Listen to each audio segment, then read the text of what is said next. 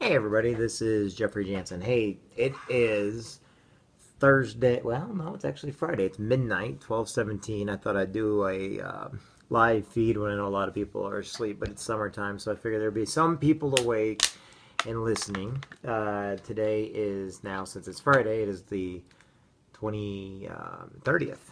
That's right. It's already the 30th, June 30th, last day of the month. I just got back from uh, a trip with a good friend of mine. Uh, he and I had some business um, and taking care of truck drivers and stuff like that, which is awesome.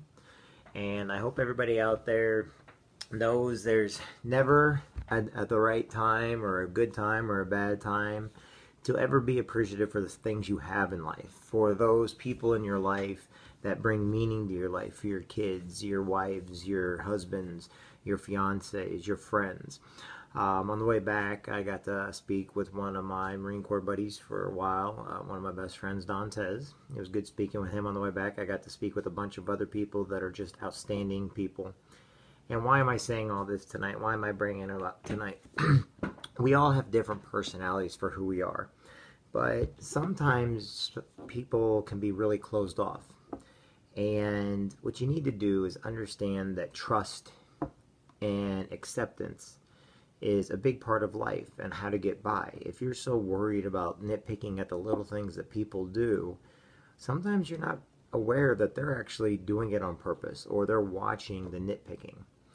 What I'm saying is everybody in life has issues and problems. 22 veterans a day and men and women all over the United States are killing themselves every day because people nitpick. People don't care. They they're so worried about drama or the latest food on Facebook or who's dating who or you know that people become bullies and they don't even see that they're doing it. Now, am I all about this bully revolution everything else? No.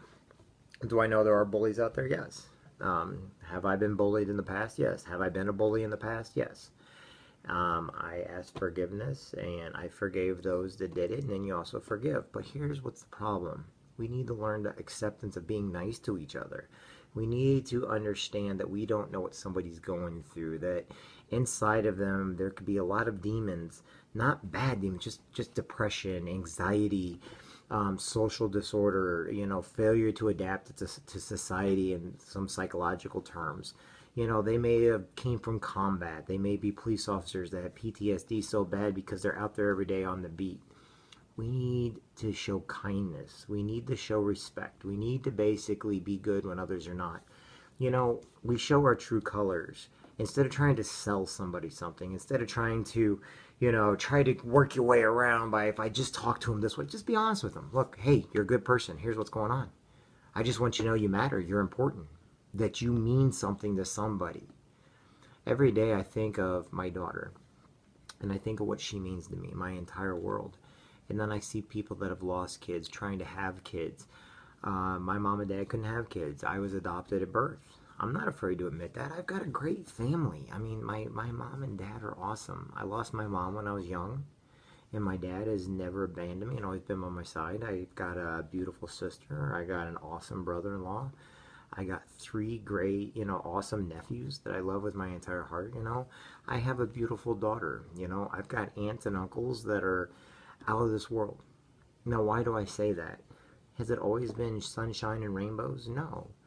There's been times where, you know, stress, you know, with cancer and depression and everything else. So there's people out there that have it worse off than I ever did.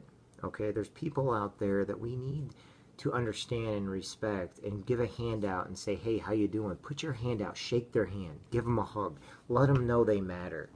Sometimes, you know, people could be testing us just to see if, you know, we really are religious. Like, you want to preach God to somebody, then you might want to have a little faith in him. If you're so worried about what other people are doing, you can't trust people and you can't say things around people. You're so worried about territories and this and that then how can you preach God? How can you sit there and say you're a religious person when you don't even have faith or trust in that of what you're telling everybody else they need to? What I'm saying is have faith and trust in each other. Am I a God fearing person? Yes. Do I always show it? No. Do I have the language of it sometimes? Oh, heck no. You know, I am a Marine. I do work with truck drivers. I do have compassion for those that I work with. I do believe in what I do. And sometimes that can cause me to be unfiltered. but I love what I do and I love helping people and I hope I can help even more. But what I do with these here is I just want you to know that each one of you matters. And when you're out there, the reason why I talk the way I do, here, this is the insight on why I do this. To show you that there's a lot going on in somebody's head. But when it boils down to it, being nice, being kind, being respectful. Um, I read a thing where a buddy of mine, Chris Hughes' son, opened a door for a little old lady over in Wyoming. That's awesome. I read every single day how we're raising our kids right. When was the last time I told you that you're a great parent, you're a great mom, you're a great dad? Who cares about the drama? If it's going to work, it's going to work. If it's not, it's not. Here's the thing your drama is only keeping you depressed.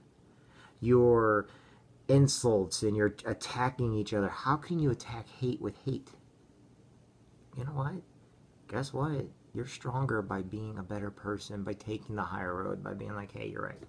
And that's what I say all the time to people. You're right. Why? Because I'm comfortable with who I am. I'm comfortable with being a single dad who I love my daughter with my entire heart. Okay? But what I'm not, not comfortable with are the people out there that got depression, the people that walk right by them without even giving them that time of day to say hi, hello, thank you, you're awesome, great. It doesn't cost money to be nice. But you know what it does cost? Time. And if you give that time to them, someday you're going to get that time back just. Why? Because someone's going to do for you what you did to somebody else. And if it's love, if it's greatness, that's what you're going to get back. My name is Jeffrey Jansen. It's getting ready to storm outside. I want you to each know that you're important, that you matter. To all my Marine Corps brothers out there, don't give up.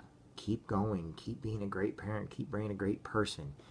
You're awesome to all my military family out there.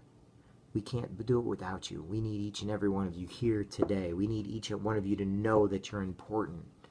And if somebody hasn't told you today, I'm telling you right now, I'm looking you dead in the eye and telling you, look, you matter, you're important. To all the police officers out there, you guys each matter. Don't take your hate and your anger and everything else on on everybody else just because people can be evil and cruel. I promise you, they're good. And thank you for being a police officer. Thank you for being a firefighter. Thank you for being a teacher.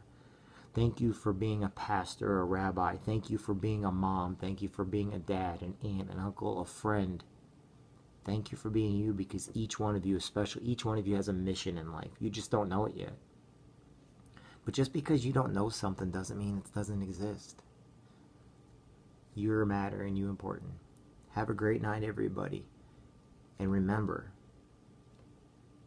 you're awesome.